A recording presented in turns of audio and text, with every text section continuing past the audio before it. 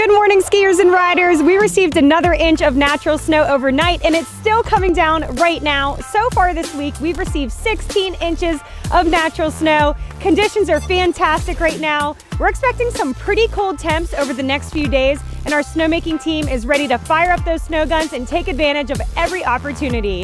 If you're planning on joining us over the next couple of days, make sure you dress warm and bring your goggles as well, because like I said, it is gonna be a bit chilly. We could see temps dropping into the negatives over the next couple of days.